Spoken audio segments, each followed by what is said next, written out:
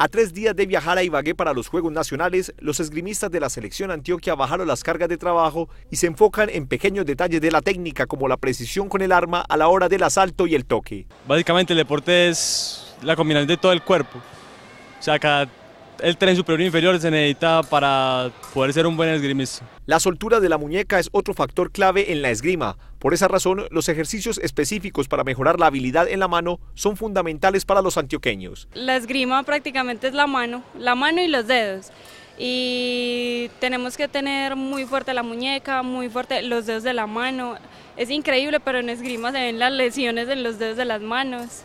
Entonces todos estos ejercicios nos ayudan mucho para estar bien preparados para juegos. Diez esgrimistas antioqueños, acompañados por el entrenador Emanuel Hoyos, viajarán pasado mañana a Ibagué para disputar el título de este deporte ante 140 participantes de todo el país.